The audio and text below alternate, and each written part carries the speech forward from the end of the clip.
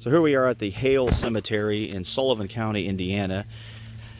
It was established around 1837. So there are some very old burials, including which I believe was sort of the patriarch of the family, um, a William, uh, actually Richard Hale, who I, his family, um, I believe as his father was a Revolutionary War soldier. He, I believe, served in the War of 1812.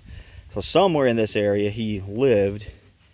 And this is his family cemetery. There are, the stone here lists all of the burials, but obviously there aren't that many markers here. Just a few. And Richard Hale is not one of them. You can't find his stone. But there are some, as I said, 1833, I believe, is the earliest.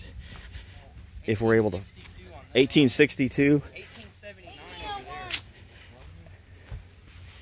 Here, this looks like, I mean, this is very old, but again, it's really difficult to, probably one of the oldest. 18, this looks, this seems to be, see if, if you think this could be, that's 1830 something maybe. It's just maybe? 1838 maybe. If that's the case, that would be super old. SCH, I guess that would be kind of the footstone.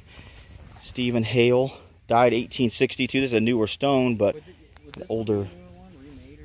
Yeah, and so would this as well. And this, here's one. I don't know if this is a, yeah, it looks like just a buried headstone. But I can't tell. Put it back. You can't see anything. And you can see the old stone. See, you can see over here the old stone that was here. Oh, and then I added like And then they've built, they built this larger, they added this larger one here. Stephen C. Hale, the SCH. That would have been the headstone, and on the other side, you've got like the footstone.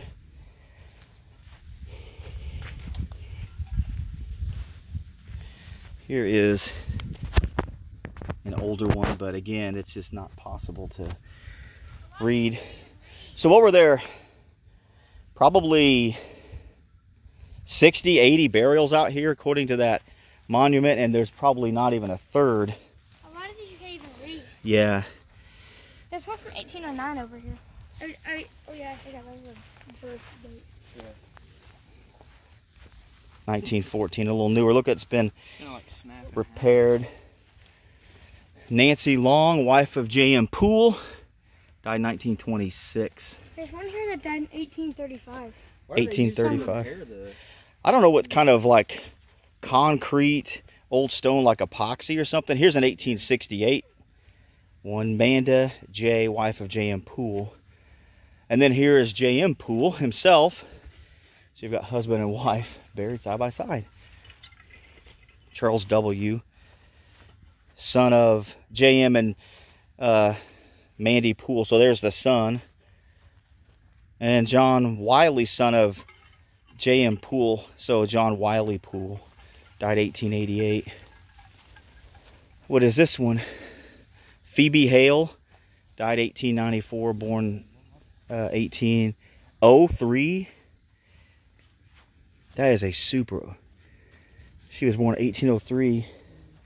I don't know who she is in relation to Richard Hale, father and mother. So I don't know if this other side, if we've got who we have. Can you, can we see who this is? I,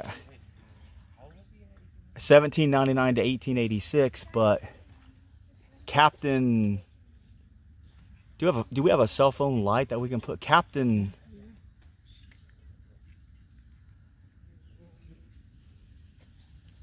Even that's not helping too uh, a little bit maybe. Captain John, I, I don't know. I can't see the last Hale, I believe it is. But anyway, this uh, there's an epitaph, but you can't read it. But this is, it says father and mother. So Phoebe and John Hale, and these are very old. Look, here's a very old one just laying, but you can't, it's like 1867. You can't see the name. Looks like it's broken, so half of it is someplace else.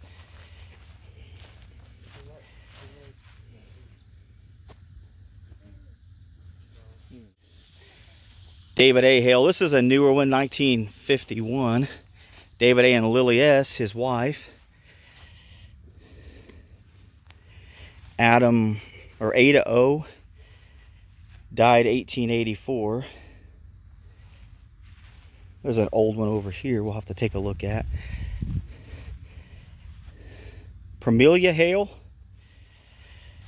died 18 uh, 1908 something like that here's a stone here at the bottom but it's not anything you can read there's maybe a name on it but it's hard to tell like the little every one of these stones would have different um, you know the meaning. So you got the hands the shaking of hands that could be I don't would have to look up the meaning of that but kind of hard to tell when they died. 18 oh, 70 something maybe? It's just it's just hard to tell. This is the Hale Cemetery established 1837 in Sullivan County Indiana